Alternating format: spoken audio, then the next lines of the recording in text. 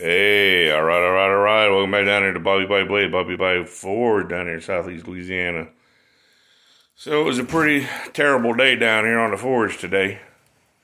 Uh, been uh, started trying to forge some stuff, and my air compressor died. My brand new DeWalt air compressor died on me. Uh, I think the switch and the pressure switch burned up or something. I don't know what's wrong with it, but I'm really pissed off about it. Uh, I don't think I owned it about a year.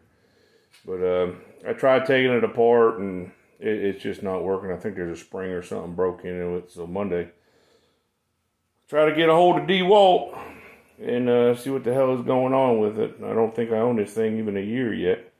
But uh, I did revert to the little pancake, which was working good until the forge press broke.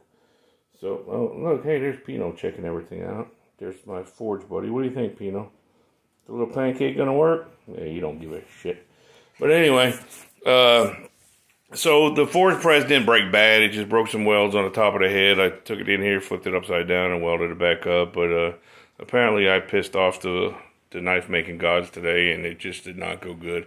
And I think I just ran out of propane anyway. So I'm going to call it a day. I'm going to go in and have more than one adult beverage and try to forget about what this day was and uh, hopefully get everything squared away tomorrow. Get some propane. I could still forge with the little pancake.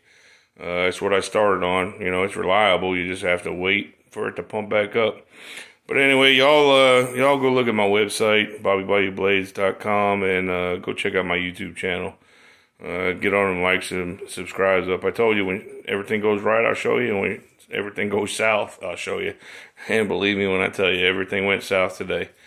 All right, all right.